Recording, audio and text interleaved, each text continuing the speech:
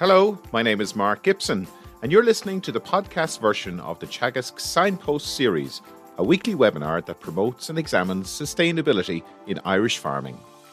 A very good morning to you, and you're welcome to this week's Signpost webinar. Uh, today, we're going to be talking about opportunities for anaerobic digestion in Ireland. And with the increasing emphasis on renewable energy and sustainable waste management, what role can anaerobic digestion play in generating clean energy, reducing greenhouse gas emissions, and fostering a more circular and resilient economy? And I'm delighted to be joined by Dr. Maurice Deasy, who's a postdoctoral researcher in anaerobic dig- digestion based here in Athenry, Teagasc in Athenry. Good morning, Maurice. You're welcome to today's webinar. Morning. Thank you very much for having me on. It's great to, great to have you here. And good morning, Pat. You're going to help us out with questions. Good morning. And uh, Maurice, you're um, uh, you have uh, a number of different uh, interests in the agri-food sector, but uh, anaerobic digestion you're going to talk about today. Maybe could could you tell us a little bit about yourself? Yeah, Maurice Deasy, um, engineer by background, working on researching anaerobic digestion, but farming also at home, um, and also do brewing as well. So a few different uh, sectors that I'm interested in, basically. Very good, very good. So, um, you're going to be talking to us today about you know the potential of anaerobic digestion and uh, some of the the practical issues that are associated with the rollout. I, I know that the government does have ambitious targets around anaerobic digestion. Is that right?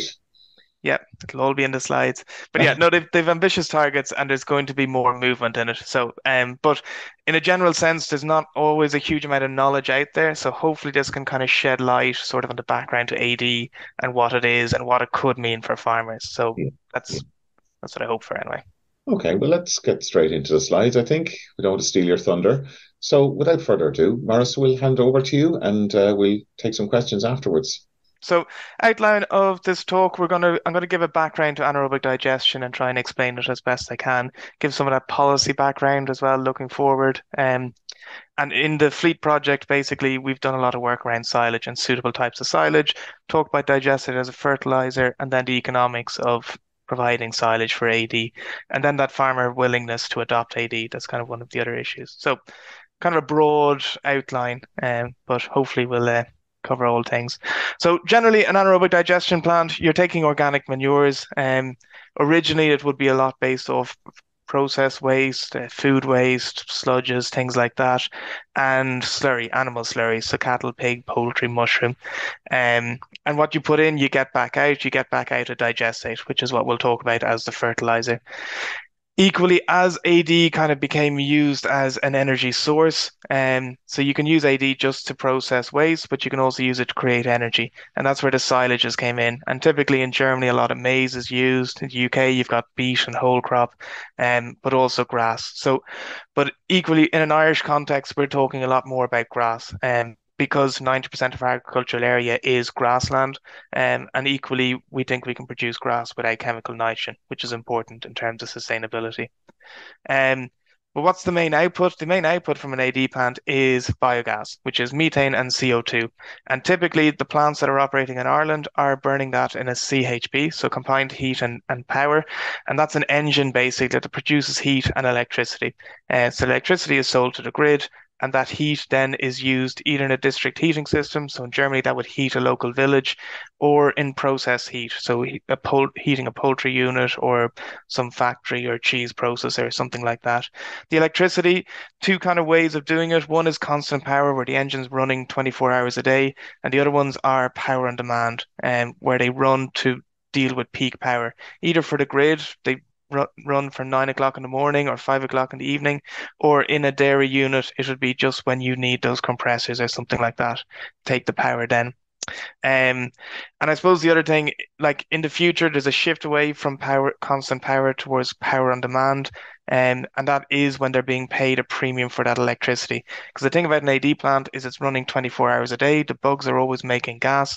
So that creates the a, a, power that you can actually store and use when you want it, which is a big difference between solar and wind.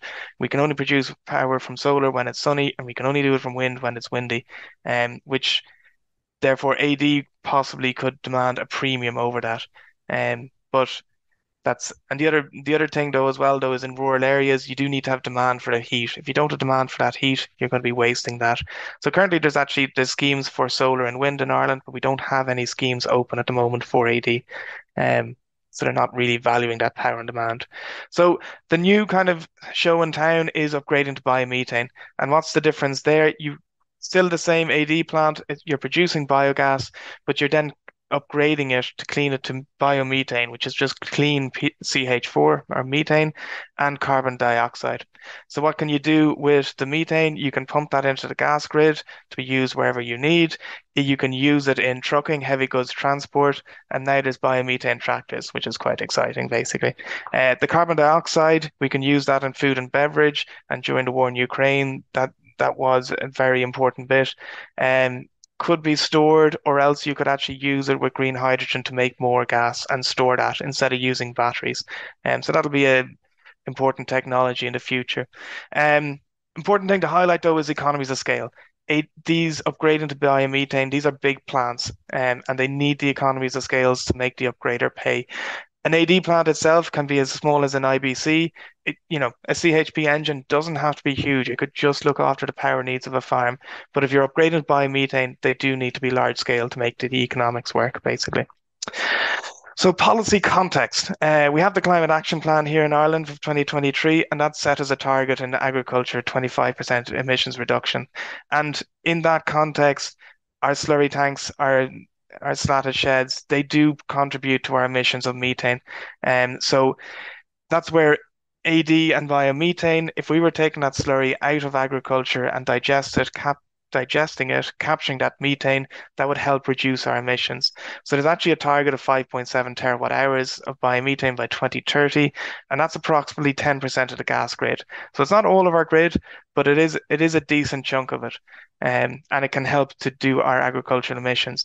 And where is that power going to come from? Um, so this is the pie chart here is an, from an SEAI study, and they're looking at where ca where can this resource come from.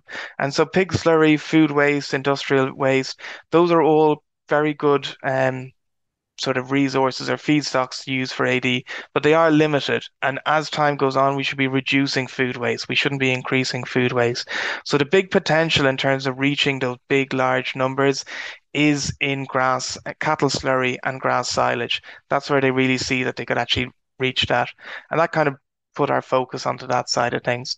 Now, the other kind of policy context is RED II, the Renewable Energy Directive, um, and that sets greenhouse gas emission savings um, for biomethane. So you can't be burning lots of diesel to make renewable gas. They're setting targets as to what to do it. Now they have different targets for transport because say heavy goods transport is very difficult to, to decarbonize. We have electric cars, we don't have electric trucks right now. Um, so that is giving a credit into that transport section. But you can see there you need to be used up at 70 and 80% basically renewable. And that's where while the grass silage is providing um, a huge amount of energy, you need to be careful how it's produced and how much emissions is associated with the production. The other thing is in the context when we're looking at Northern Ireland and the UK, which have an awful lot of AD plans, they are now outside the EU, so they don't have the RED II directive. So some of their policy is different. So just kind of be careful when you're thinking about Ireland versus the rest. So producing silage without chemical nitrogen, uh, typically we're pretty much grass based. Um, but this slide here that I've robbed from John Finn if we add legumes in with our grass, we can produce grass silage basically without chemical nitrogen. And chemical nitrogen has a huge emission that needs to be accounted for in RED II. So therefore, that's what we're proposing is shifting towards a grass clover or a multi-species, so grass, clover, and herbs. Because the higher your legume proportion, the further to the right of that graph goes, the more you can produce tons of dry matter per hectare without chemical nitrogen. So that's the green line there is about 12 tons. So if you get up to 30%, they've no trouble producing 10 tons dry matter on 30% clover in your sward. And that's, there's up at 16 tons, and um, it can be produced. So that's, you know, Clavin et al. did it in Grange over five years. They're producing 16 tons of dry matter per hectare per year. So that's long-term studies. So what are the barriers with clover? There is issues around rotational grazing, longer rest periods, higher residuals. There's a fear of bloat out there. So th to me, those aren't issues in producing silage for an AD plant. So I think that's kind of an easy, low-hanging fruit, basically. So this is kind of gets to us what the outline of what we're looking at for agri biomethane here. So I'm I'm discounting the waste side because I'm saying that's a separate sector. We're talking about agri side here because we are Teagasc, right? So we're talking about silage using clovers and slurry and feeding those into an AD plant, upgrading that to biomethane and using that digestate out the far side. So in generalized figures, you're talking about 50-50 kind of a blend on a fresh weight basis and tons of material basically of silage and slurry. Now, 80% of that power of the power will be coming from the silage, 20% coming from the slurry, and even less. However, there is some emissions associated with silage, so you can't go to 100% because you need to reach your RED two targets. You do have diesel of harvesting and stuff like that. So that's where the slurry actually you're offsetting those emissions. That methane would have been released into the atmosphere. So by putting it into an AD plant, you're capturing it, and therefore you get this credit. So it'll always be a balance between those two feedstocks to actually reach your targets. Um, a couple of port, sort of important points when you're thinking from a farmer's perspective. Uh, water doesn't make biogas. Biogas. So really watery slurry is not what an AD plant is going to want to feed into their 10 or 20 million euro plant. They don't want water sitting there doing nothing. They want the ener- the energy, the carbohydrates, things like that, to actually the dry matter really that's producing the biogas. So that's where they don't like it's going to be important how we actually collect that slurry and how fresh it is. And the other one for, is silage. Fiber doesn't make biogas either. So those big high yields of very kind of uh, lignocellulose silage, very good for feeding a suckler cow, good good for the rumen health, but that's not what an AD plant wants. So the AD plant in Grange that Teagasc is commissioning, this is what you call a pilot biomethane plant. Um, and just to give an example, that's going to take 10 tons of silage a day uh, and nearly 15 tons of slurry a day. So that's from about 70 hectares of silage and a thousand cattle. And that's a balance 84% coming from the silage of the energy, 16% coming from the cattle side of it. So the slurry doesn't produce the energy, but it's important for our greenhouse gas emission savings. So that would produce about 3.2 gigawatt hours per year. Um, and in the context, when we're say the KPMG Devenish report on AD, they were looking at a typical plant, biomethane plant, of being 20 and 40 gigawatt hours. So you're nearly 10 times bigger. So that's you're talking about 100 tons of silage a day, 150 tons of slurry. Like that's that's why we're talking economies of scale. These are big plants. They're not small plants. So digestate as a fertilizer. Um, basically all AD plants create organic fertilizer because what goes in must come out. And typically there is food waste or there is organic materials going in and they're processing it and bringing it out as a digestate. And what's important with a digestate is it's increasing the nutrient availability of the organic manure. And that's generally down to the improved carbon to nitrogen ratio, which improves the fertilizer value for the for farmer. So while some of these feedstocks are going onto farms already, putting it through an AD plant would actually kind of process it and improves the fertilizer value, which I think is an important thing. Mainly in terms of crop production, you're talking about an increase of ammonia content of digestate versus slurry. And that is the faster release nitrogen and the plant available. Um, which is good for output. So this is kind of typical analysis basically of cattle slurry versus digestate. Very similar in terms of dry matter percentage. So you can use low emission slurry. You don't need to change your system in terms of spreading. Um, but if you see there, your nitrogen content is increased over cattle slurry. And that's the big difference. This is becoming more like a fertilizer because you have more nitrogen and it's more available. So you get much better crop response. So, in terms of nitrates, which is very topical, and organic load distribution, there's, there's an advantage in AD plants in terms of spreading our nutrients evenly. If farms were exporting cattle slurry to an AD plant, you're exporting it off farm, right? And then you're re-importing it onto the farm. So for me, I think it's very important in terms of how it's spread on farm, that it's it's spread to out farm, say, um, it's or silage ground compared to the grazing base if it's coming back on a truck, that truck can be delivered to out farms. So we could actually get this nutrient spread evenly across the land, which I think is very important in terms of nitrates and water quality, and equally between farms, because we do have highly stocked farms and we do have low low stocking rate farms. So can we get these nutrients spread evenly throughout the country? That would be very important. Uh, and that's down to collaboration. That basically is there a lack of collaboration right now that this this slurry isn't spreading around the place? I think AD could play an important role in that collaboration to get these nutrients spread. The other thing, as in terms of replacing chemical fertilizer, it replaces chemical fertilizer if people reduce the chemical fertilizer that you're using. And that comes down to having verifiable data about the nutrient content of the digestate so as they know what they're spreading. Typically, farmers don't know what's in their slurry. They're assuming uh, nutrient content. Whereas if it's coming from an AD plant, they're going to have an analysis saying that's how much NP and K is in your, your fertilizer. And there's another thing around contaminants, and that's where I'm very big on the agri versus waste AD. Agri AD, it's the same. You've got silage and slurry. It's the same as what you were spreading on your farm already. Waste AD is a different thing. Now, if particularly if you're using um, food waste, is there spoons and plastic and all sorts of things in there? So that's why I kind of differentiate between the two things. One's a waste processing, one is an agri based. Um, and that's the data is kind of to create trust. But with a better with, with digestate as a fertilizer, it's got better nutrients, it's more available.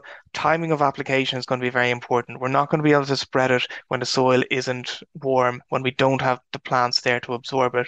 So therefore, it probably is going to be into March and April, just before you're you're closing the ground for silage. Um, to get optimum uptake of those nutrients, but you're you're getting it out the far side. So happy days. Um, and it's going to need to be less, and it's going to need to be covered storage on farm. so if you're exporting slurry from a slatted tank, you're probably and you want it back to be sitting there on the farm ready to spread, it's probably going to need to be in a covered store, a separate stored. But then you've got more storage, which is a positive basically in terms of using your nutrients effectively. So, and then on a landscape level, Processing of the digestate is going to be critical for transporting slurries large distances. So this is in from terms of zones that have high nutrient loading, could we spread them further distances? Uh, and that separation, solid and liquid, extraction of ammonia, dewatering, and then long-term biochar is going to be very important because that's a way of actually car- capturing carbon and sequestering it long-term in our soils. So those are all things that can be enabled by AD plants and having these centralized facilities, processing large quantities. It makes the economics of processing that stuff much easier, basically. So I would see that as an important step down the line, basically. So AD as a nutrient distribution hub, and this is where the concept of a co-op in terms of farmers would be very important. So, are, are you ex- so why would you export your slurry? It's increasing your your storage. It's increasing the fertilizer value of that that slurry when you get it back, and you can reduce your organic loading. So if you're pre- taking slurry, sending to an AD plant, you don't necessarily have to get it back. And that comes down to if the nutrient opportunity cost is valued, you could get a credit when you supply the slurry. And if you don't need it, that's fine. You could cash in that credit. Someone else will use it and need it. And particularly in arable farms, they may well need that uh, organic fertilizer. So you could sell it to the to the arable farms essentially using the AD plant as the intermediary. Uh, and the other one is in time, why would you export your slurry to take back digestate? Well, if you were able to say, well, okay, I've exported all my slurry, I've reduced my emissions by that 10%, that's a useful thing once that's valued. And the other thing is if you're not measuring, you're not managing. You're exporting that slurry, you're getting you're getting it back as a fertilizer and you know where to spread it, how to spread it. That's an important kind of concept. So in terms of the silage side of the house, right? If we're growing the silage, putting it into an AD plant, we need to bring that digestate back to to grow the grass. However, there is an issue there in terms of growing grass red clover. We don't need the nitrogen to grow grass red clover. If you spread chemical nitrogen onto clover, you're actually slightly reduce the yield over the course of a year. So therefore, this is where we looked at different scenarios in terms of should we then use that digestate in a different part of agriculture and actually just spread P and K on the silage ground because by bringing that digestate to another part of agriculture, we're now offsetting NP and K. We're offsetting that nitrogen. Um, and that's that nitrogen saving, which has further greenhouse gas savings. Um, which is important basically. So the work on the FLEET project, we looked at the economics of existing feedstocks and using the National Farm Survey, and we looked at the years 2018 to 2020. in all of this data, there's no, we're not using a land charge or rent, and we haven't said that farmers are going to be building these stores um, or more silage pits or anything. Equally, typical silage systems within Ireland, we're talking about one and two cuts basically on average are the most pop- popular. There is three and four cuts coming into it, but an AD, a grass red clover for an AD plant, we're talking three cuts at least, basically. High quality silage is what we want with high energy content. And um, we model a 14 tons dry matter per hectare yield, basically, using Clavin, basically. And the results I show here are using that 42% digestate reuse on a crop. So that's actually saying first cut of silage is fertilized using digestate, second and third cut, you're selling that digestate to somewhere else, and you're buying P and K basically to balance balance out your nutrients. Uh, and we're also not ploughing up grassland. Um, low disturbance systems is what we're modeling because economically, I don't see the justification of ploughing grassland. Basically, the so this is some of our results. Uh, this is the effect of the nutrient opportunity cost basically on the cost of silage and this is our eight, 18 to 20 so on the right hand side we've got a perennial ryegrass that's our typical grass system 100% of digestate and you're topping up with nitrogen to get your yield basically the box I just highlighted there, that's your perennial ryegrass red clover, 100% digestate using and supplying all your P and K uh, and nitrogen as well. So there's a cost saving of shifting from, from perennial ryegrass to red clover, principally on saving that nitrogen basically. Now, as we move further left on this chart, we're using less digestate, so that is being sold basically to another industry. The and this dark green chart that's showing where you're excluding the nutrient opportunity cost. So you're just selling the silage and you're just buying P and K. So there is an increase in cost if you don't get money, if you're not getting paid for that digestate that you are generating. The corollary, though, is that if you do get paid for the NP and K value of that digestate, you actually are making that silage cheaper. So that's where I think that is long term be very important in an AD system. When you supply slurry or you supply silage, you're getting paid for what it is, but equally for the, that opportunity cost of NP and K. So the other thing that we did was we compared the profit of profitability of growing grass for AD compared with the existing farm systems. So that's within the NFS, you've got your cattle rearing, cattle other, sheep, tillage, and dairying. Uh, and we use different prices of 30 euro a ton for silage, 35 and 40 euro a ton. And that's on the right hand side here, you can see the um, that's the dairy sector. And basically, the profitability of dairying is always going to be higher than producing grass silage for AD, unless they're given a heck of a price for silage, basically. Now, for the tillage sector, it's more net neutral. At 40 euro a ton, you could make more. Um, and now, and this is for average, so it's not saying for every crop within an arable rotation. It's just saying that on average, it's not very likely necessarily that a, tillage farmer would go towards um, growing grass for AD. For your sheep and cattle enterprises, once the price does get to 40 euro a ton, then it does look to be more viable, economically viable to sell grass for AD compared to your existing system. Now, the context of that 40 euro a ton, silage was being sold on the market for less than that. So I think it is important. And the other context, if you think of the tillage incentive scheme, that was 400 euro a hectare. And it, it was, you know, farmers did put crops in, but it wasn't complete. We didn't stop the whole industry overnight, basically. So that's where I would use that 400 euro hectare as kind of one of this uh, measures of there needs to be increased profitability to actually make a farmer shift over from one system to another. Otherwise, why change? Why take the risk? We know what we know the system we're operating. So that does mean if it, this is system is to take off, a good price does need to be paid basically to the farmers for their silage. Now, the other thing we did through the National Farm Survey was we did a survey around willingness to adopt. And we asked different questions around would you supply silage? Would you pr- produce silage, that silage with low nitrogen? Would you supply slurry? Would you receive digestate? And would you join an AD cooperative? Uh, and the big ticket kind of answer is those big red lines on the left. Most farmers like near 65% were saying, no, I wouldn't supply silage to an AD plant.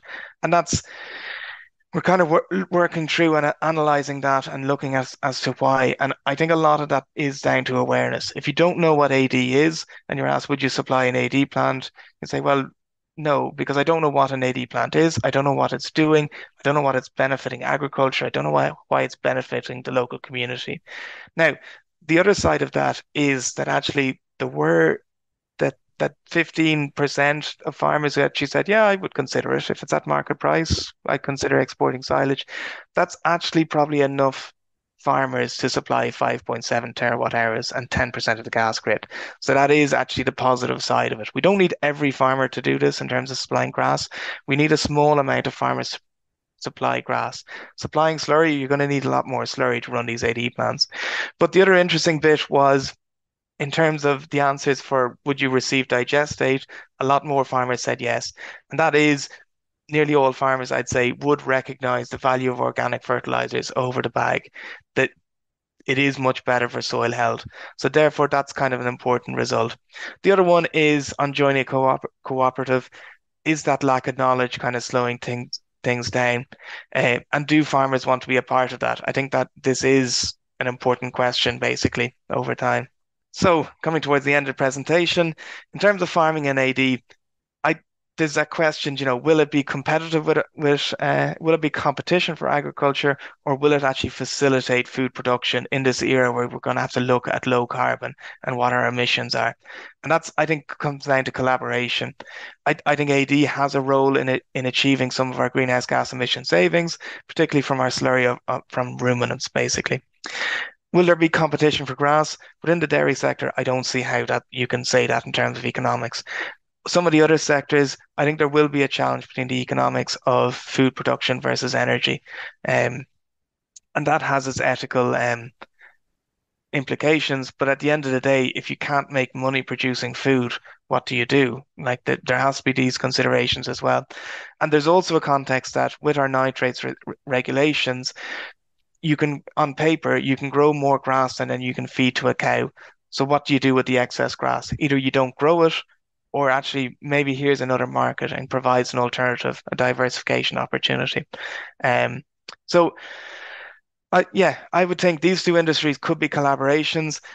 However, it does depend who is leading this. Is this a farmer-led approach, or is this VC firms coming in, being funded by pension funds, and looking at the energy production and not looking at this collaboration between food and energy? Because the most best run systems, they're producing the two at the same time uh, and that's the most sustainable in my in my eye. In terms of AD as a distribution hub for organic nutrients, we have the stick, which is nitrates, and it's being it's being used to to hit farmers, right? This could be the carrot.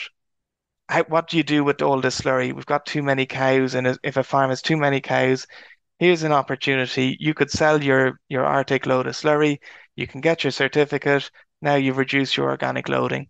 Um, and equally, in terms of nitrates, I suppose it is in terms of water quality. Agriculture is a big player, but we also have forestry, we've got industry, we've got human waste, all these other sectors are playing in on nitrates, right? And our water quality. So I think this would be an important step if agriculture actually embraced it and said, look, we're doing our bit. Let's make sure everyone else is doing their bits.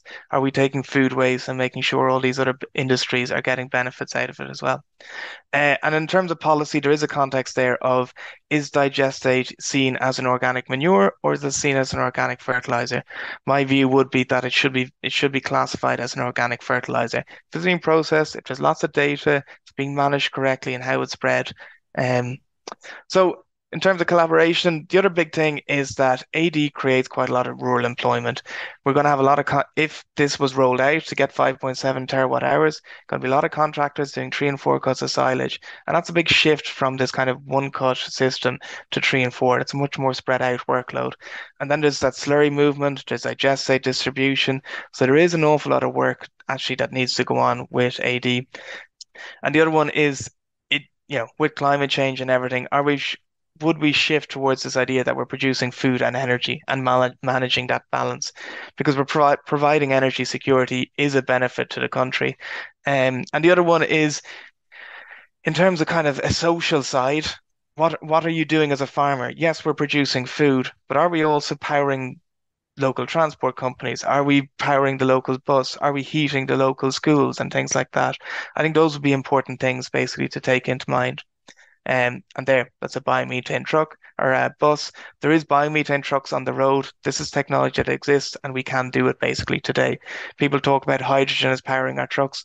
biomethane exists. It's, we can do it today. We can reduce our emissions and we can produce renewable energy, basically.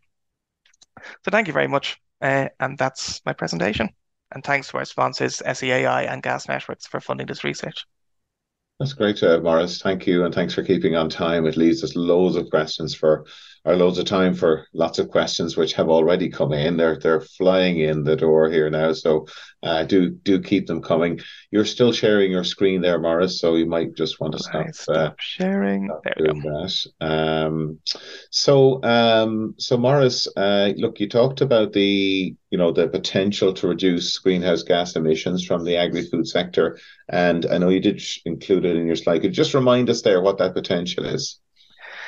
But I have more research to do on it. But typically, what, what they would say is that, say, on a dairy farm, about 10% emissions could be associated with that slurry tank. Um, so that's that that slurry that's sitting in a tank, and over time that starts spreading, that starts emitting methane.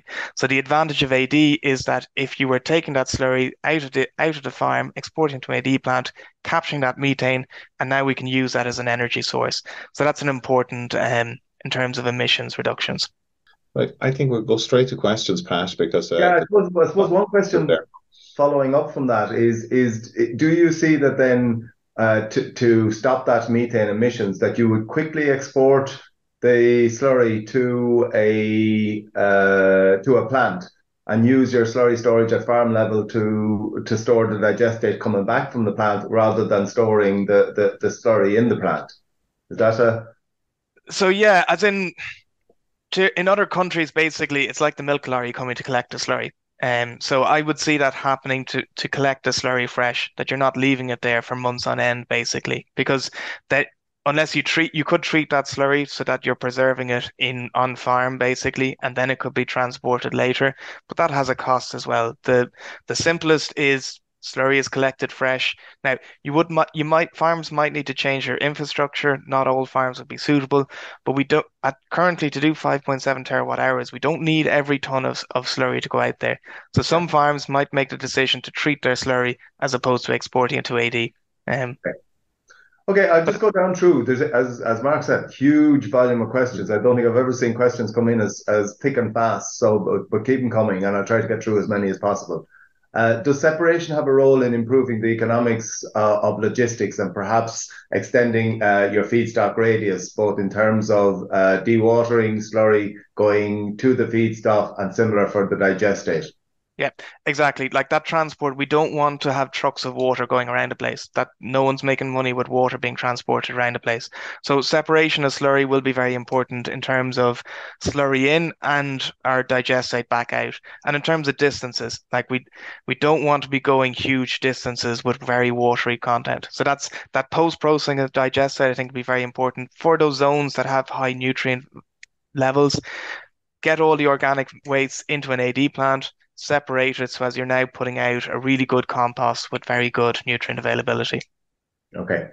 And I suppose, is there any negatives in, in using poultry manure to replace cattle slurry?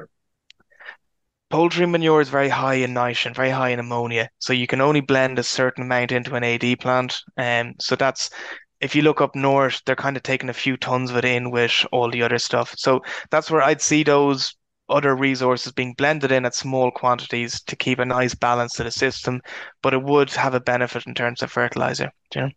Okay, and a similar question for pig slurry.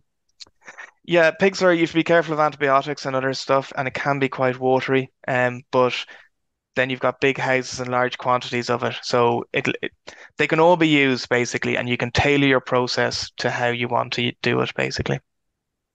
Okay, so the the uh, availability of N in, in digestate is more available. Uh, could the silage be grown using multi-species legume mixes and uh, just put digestate back on the silage ground? That kind of thing. Yeah, kind of yeah, yeah. So I kind of covered it, but I'll go over it.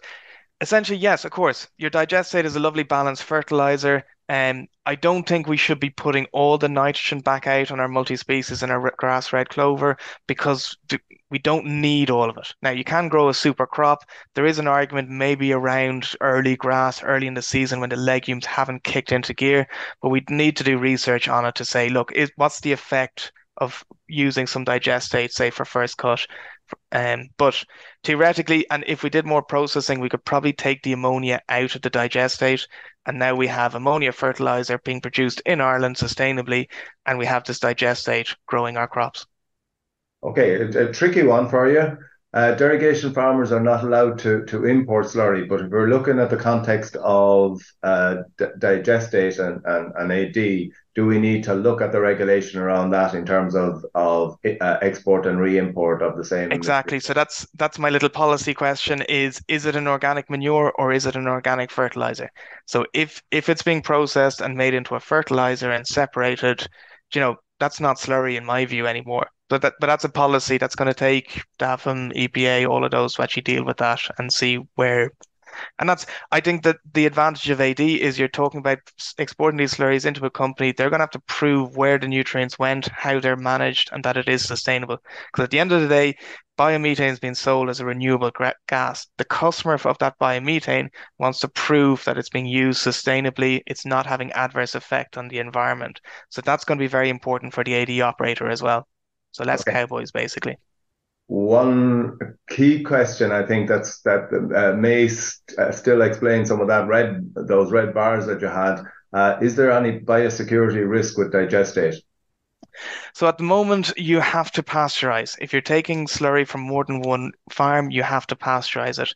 Now, there is debates around that because that's energy intensive. You have to heat everything up to 70 degrees for an hour and kill everything basically, all sorts of bugs. Digestate in itself is actually can be quite safe. So there would be an argument in time if we get this industry up and running, we should study this and see that actually digestate may in itself be pasteurized via its own process, that we don't need to burn this extra energy. But right now, the EPA and everyone is saying, no, you have to pasteurize, which as an engineer, you're like, lads, we might be burning energy for really no benefit, but that's that more research will, and evidence will be needed for that. You know, that's my opinion. You know. Okay. Uh, just a question in relation to uh, cooperatives and and the uh, I suppose the, the accessibility of cooperatives to to uh, um, get involved or to, to create, uh, um, I suppose, business structures as cooperatives, or is there an interest among the existing, say, dairy co-ops to get involved in, in, in this area of business? I'd be giving the existing co-ops a good kick and saying, "Come on, lads, time to get get moving." Uh, but equally, I, I think there will be probably standalone co-ops just around digestate. In terms of, it, do you have a bunch of farms in an area with enough feedstock, um, and I think it needs to be collaboration between different types of farms. Do you have livestock farmers in an area? Do you have arable? Do you have all these different types of farm? Do you have some dry stocker who are thinking about retiring and saying, Do you know what? Maybe it's safer not to have animals. I wouldn't mind growing the silage. So that's why I think it should be a collaboration. And that's how to make these really sustainable long term is having everyone making their buck out of it and yeah. having a nice system basically. And I, I, presume for for farmers getting involved, the, the, the risk of putting in substantial investment before you get to the point of even getting to planning permission uh, is a huge turnoff for farmers getting involved. They just can't afford to take that risk with the level yep. that's involved. And and there is these large plans, they are huge capital outlays. Do you know what I mean? And that's it's like 10, 20 million of an investment. Like this is not small money. And the, is the market there to buy that renewable gas? So that's they are it'll probably be a balance between co-ops and getting finding money other other places basically. But it's yeah there's large challenges to it. I think it should happen. It makes an awful lot of sense but it, it, it's not an easy road and that's why we don't have these AD plans everywhere just yet. But do you see it as being more advantageous for farmers to get involved in that capital investment rather than at least being left? I mean the the the wind and, and the solar has been pretty much uh, made inaccessible for farmers and it's uh, it's big corporates and big investment yeah. funds that are getting involved. And that's look, I, I think we have a choice. Um, either farmers get involved with it and make this happen, and we're going to be farmers have crucial role because they're providing feedstock and they're taking digestate. Without farmers, an AD plant is nothing, right? But we can sit on our hands and do nothing let someone else come in and and build these plans, or farmers can get active. And that's I I would give a kick to the co-ops, but also to the farm organizations. They're not talking about this. This should be being engaged. We should be saying we need to reduce our emissions. An AD industry will help, will also help reduce another sector, which is energy. We can also help with some food waste in certain contexts if it's nice and clean. So that's why I think we need to get active and actually make this happen. Because if it's if it's built and operated by farmers, it'll be for farmers' benefits. You won't see this trade off of energy versus food because the dairy farmer is producing his food and he's producing a feedstock on the side to feed this AD plant. So that's why I think it should be food first. It should be farmers involved in it. And the farmer, it should always be more profitable to produce food. The secondary should be energy. And that's that waste bit. I got extra silage, grant into the AD plant, off you go. That's the. And Maurice, can you are there examples that you have come across in other countries where that more we'll call it democratized approach or farmer led approach is, is in place? And you know are there are there policies to support that or or uh, public funding there to to support that uh, that development of that that structure of a of a, of a sector yeah, well, there's plenty of examples of AD plants across Europe, basically. Like Germany have their model, it was a lot of maize. Uh, Denmark is much more suitable. Now they, they do have they do have large in, um, farm infrastructures in it. Um, and there is co-ops, but yeah, there, there's every sort of a model out there. You know, if, if you want to get interested in it, you can look at any plant and any sort of a model. Um, yeah, and I imagine there's some uh, networks establishing around the EU on this as well. I know the yeah. Commission are, are, are quite good at uh, supporting those those types of areas. And, and certainly the policy direction is the EU is pushing more towards waste and residues. And that is it's very important in terms of farming. It's like, well, if you're producing your food and you have a residue or something left over and feed that into AD, that they really don't see these maize fed AD plants as being positive. So that's when people ask, they're like, oh, beet, maize. And I'm like, no, not a positive in Ireland. We're we are a grass country. We can grow very good yields of grass, and we actually can't we're not being allowed to feed that to cows. So therefore, here's another outlet.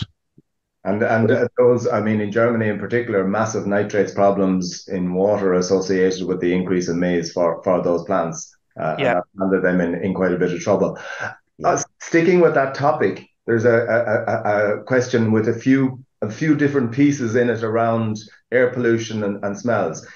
I suppose one of the things you mentioned that there's a higher amount of av- available uh, uh, ammonia nitrogen. Uh, is there a risk that that leads to a higher uh, volatilization of ammonia than would be the case with slurry, or where where is that balance? Yeah, so okay, on smells, there's a big thing if agri versus waste. If you're a food waste plant, that's different to an agri based plant. So an agri based AD plant is reducing the smell basically compared to your pig slurry, your heavy slurry applications. You drive down the road, you can smell those. Spread digestate, you're meant to reduce that smell basically there is a higher ammonia content, so we'll need to be careful about how it's used. And that's, I think it'll be very important in shifting the mindset. Spreading digestate, you're spreading fertilizer. You're not getting rid of a waste. There's too many farmers viewing the slurry as a waste. It's heavy, full of water. We need to just get rid of it. And that's not going to be sustainable into the future. You've got a resource there. You've got NP and K sitting there. Now, I get it with slurry because it's not very available and there is lots of water and it's difficult to man- manage. You, you've got hours to spread it. However, if we're making it into a fertilizer, this needs to be controlled. This needs to be well applied. You're going to have to have your soil samples. Do you know what I mean? To know what your crop needs to then spread it. And then it's going to be low emissions. But like if you look at the systems in the UK, they've got like dribble bars to 30 meters. So they're top dressing crops with this stuff. Like, and that's so I think with the infrastructure, we could do this, you know, but it, it is going to take storage. It is going to take much bigger plant, much bigger machinery and much lower pressure, ground pressure, stuff like that. There is a lot of things to be done to, to make this sustainable. I'm not just saying it's a quick swap one for the other and we're solving everything. We need to do everything right to get this to operate correctly. Is there a um, an issue with the, the, the with the question here at the P and K prices that are now a lot higher than uh, previous years at, at today's PK prices? What price would need to be to be paid per ton to make or uh, cost per ton to make uh, 400 uh, euros per hectare profit? So uh, that, comparing to other enterprises. Yeah, that, that was at 40 euro a ton for silage. Now, I have modeled it for 2022 to look at basically mid war in Ukraine, high nitrogen prices. Um, and it's still, it, it's up at 50. and 55 euro, I think, per ton of silage.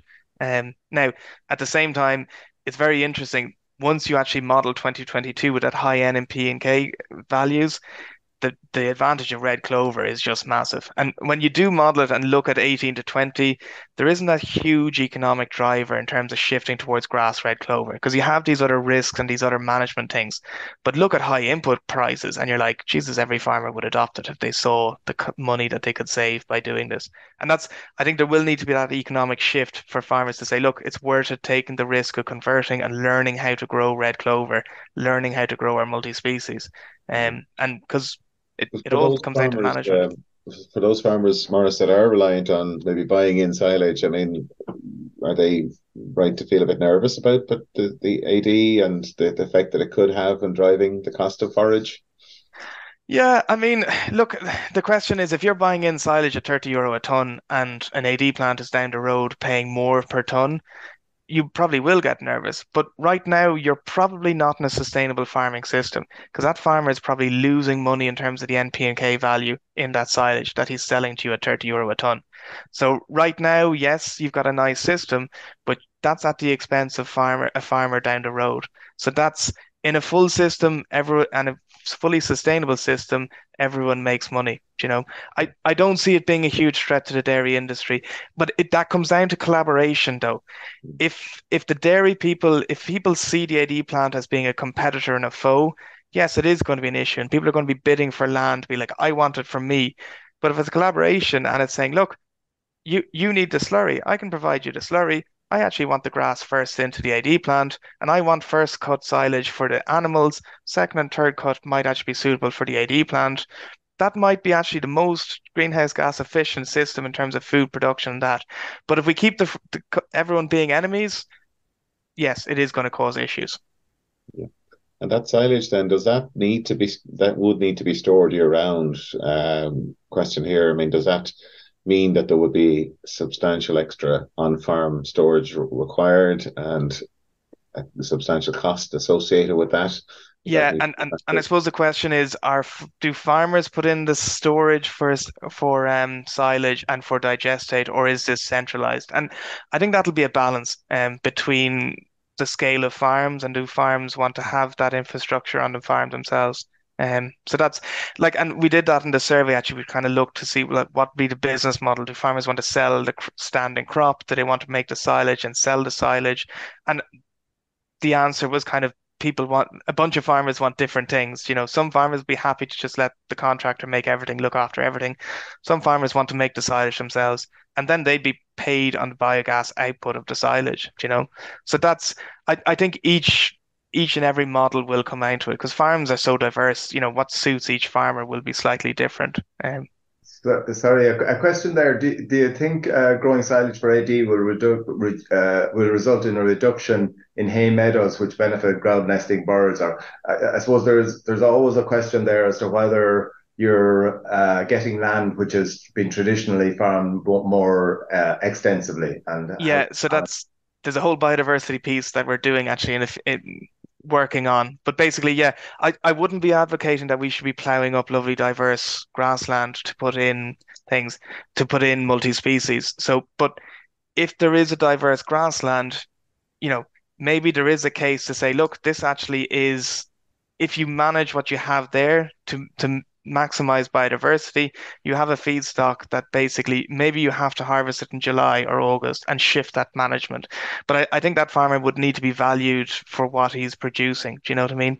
Um, so that's and then if if it's arable land that's been ploughed for years and years, I think there is a biodiversity benefit of putting in multi-species. But we do need to be careful what type of grassland it is and what sort of diversity is associated with it. Um, but yeah, there is there's rules within Red II, but that's we okay. need to be careful of unintended consequences. There's a questioner here wanting to get down to brass tacks and, and looking at the, the uh, uh, I suppose, prices of, of, of three uh, items. One is is the the price of the the input silage, but looking then at the potential for gas and electricity. What kind of pricing are you looking for at both ends to make this thing work? So look at, at the silage side of things, exporting it from the farm, you are talking about 35 euro, 40 euro ton historically. So bring that to 22, the price of diesel and everything has gone up. You are talking higher prices. In terms of natural gas, once we're when we were mid 2022 with gas prices super high, things actually looked pretty good. And um, now we're back to pre-war prices at five cent a kilowatt. So the price of biomethane might be twice or nearly three times the price of fossil gas. And that's we do need customers who are willing to pay that to decarbonize their systems. So that's those are the big questions. Will customers pay that higher price for biomethane? Now, the goal is that actually customers are blending in 5% biomethane, so therefore they only have to buy a small percentage of biomethane. And that's what we're doing in diesel. Right now, we're all buying 5 and 6% biodiesel and biopetrol. We don't know it because it's just at the petrol pump, but it'll be down to those big suppliers will have to buy a percentage of biomethane, and that's how it'll create. Once we have an industry, we can work on the economics and, and things will probably improve. But biomethane is always going to be more expensive than fossil gas. And how I explain it is you've got a pipe coming out of the ground with fossil gas, turn it on, turn it off. That's the cost involved in, in gas. Well, simplify. Biomethane, you are growing grass, you're collecting slurry, you're dealing with digestate, you've got benefits to agriculture, benefits to soil. There's all sorts of things there and societal benefits and um, waste processing, things like that. So it does have higher costs. And the issue is that it's benefiting multiple sectors. So it's not just one, all the benefits are in one sector. Mm-hmm. Um, okay, sorry. Pat, just on the transport of silage to AD plants. Um, person saying here, is this not a waste of energy and will it put more pressure on our rural road network and uh, that land should be uh, dedicated to food production? So obviously this person is concerned Yeah, look, and, and that's under RED II, right? You can you can only spend so much on diesel on transport because you start eking into your like what your quota is. Um, on food production, listen, farmers aren't being paid for producing food, so like unless customers start paying for what we're producing like if we're in the in the we can't go green if we're in the black do you know what i mean mm. so that's price of food is too cheap so in in that context yes i get the food versus energy there is a debate there but at the same time, there's a simple economic argument. We're not making money as farming. We're losing money. So what's the moral implication that we have to keep producing food and lose money? Yeah, no, it's it's a it's a it's a fair point, uh, and I suppose it's that we're operating within this context at the moment that uh, food prices are where they are. Yeah, uh, and that's I, I think if the advantage as well, though, is it would create competition in terms of food suppliers. The processors might have to pay more to guarantee that they get food delivered. And competition is healthy, basically, for efficiency. Just a, a question there in terms of seasonality. Do you see this as being because we're only producing slurry in the in the winter? Uh, so do you see it uh, uh, uh, that we're going to have to put in a lot more storage, say, than our competitors abroad because of because of that fact? Uh, and does that make it potentially uh, uneconomic? Yeah, we're we're going to be very different than than Europe, um, because a lot of them have housed all year round systems, and that's we're talking, and it's the advantage of pig slurry during the summer. They are housed cattle slurry, it is winter slurry. So it is going to be a different system to what's out there. Will it, it will it drive up the price? Yes, it will drive up the price, but equally that more storage would be positive because the more we can spread slurry in the correct soil conditions and the correct weather conditions, the better it is going to be for wet, for our water quality. And water quality has to improve. We have to get come to terms with that and get on board with trying to improve water quality. So having six months of storage, I don't think is a negative for agriculture. I think it'd be a positive. Okay. Uh, a question there in in relation to the storage of, of silage and I suppose the, the dry matter of silage, is it more suitable to have a high a, a high water content silage, or are you when you're talking about forty euro a ton, like you can have anything from 18 to to to 40% dry matter in that silage. So yeah, exactly. That... So in terms of transport, you want high dry matter. Um, in terms of the actual silage for AD, it is a slightly different silage than the the silage for for cattle. So like you want you probably do want slightly higher chop, but there's an advantage that water content you know, the water effluent from a silage pit, you can feed straight into an AD plant. It's got the energy, it'll you'll extract it out of it. So there actually probably does need to be some work done on what's the exact type of silage and how should it be preserved to maximize the biomethane output as opposed to maximizing, you know, milk production or something like that.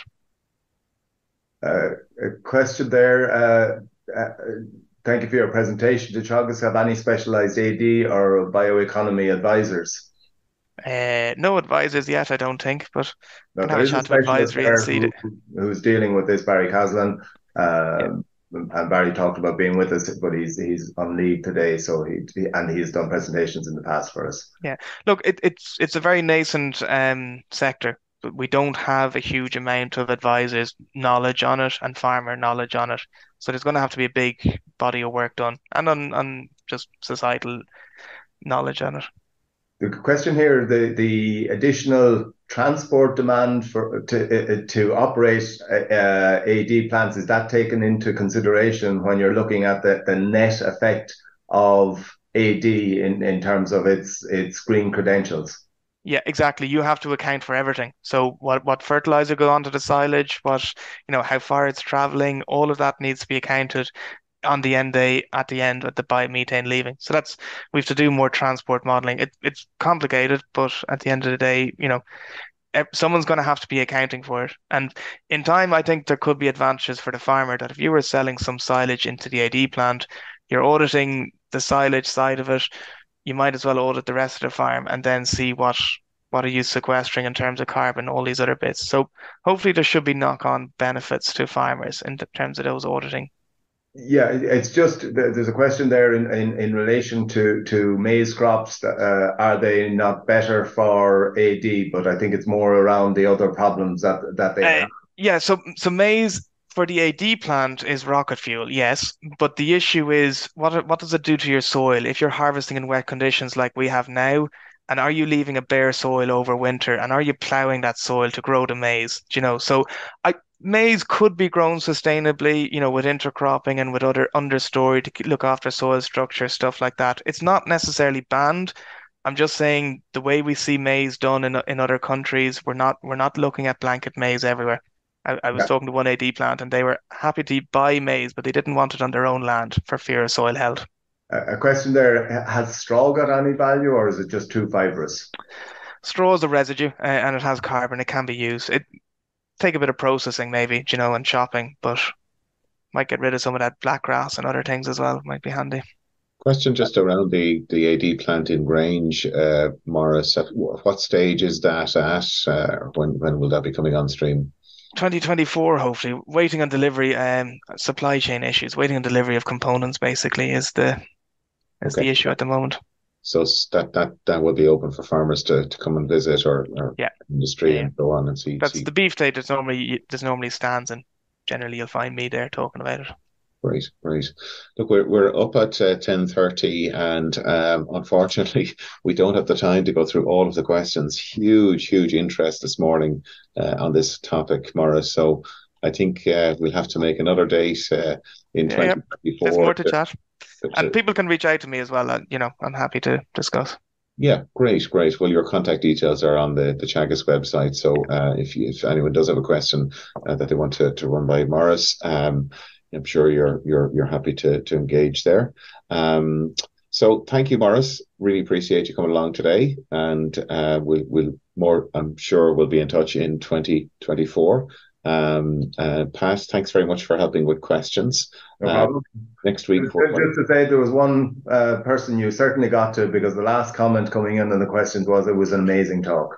Now, there you go. There's high praise, Maurice. You can take that one with you. So next week we'll be joined by Dr. Sinead McCarthy, who leads the Teagasc Consumer Behaviour Research Programme, and uh, Sinead's going to be talking to us about sustainable diets and balancing uh, personal and planetary health. Uh, so um, I know I've seen uh, Sinead's talk, really, really interesting. So I hope you can join us for that next uh, Friday morning. So until then, enjoy the weekend, and hopefully the weather doesn't get too much colder. Um, but uh, I hope you stay safe and well. Thanks for uh, joining us again. You've been listening to the podcast version of the Teagasc Signpost series, the weekly webinar that promotes and examines sustainability in Irish farming. Don't forget to join us live every Friday morning for our latest webinar. For more, visit teagasc.ie. And you can also rate, review, and subscribe to the Signpost series on Apple Podcasts, Spotify, or wherever you get your podcasts from. I'm Mark Gibson, and thanks for listening.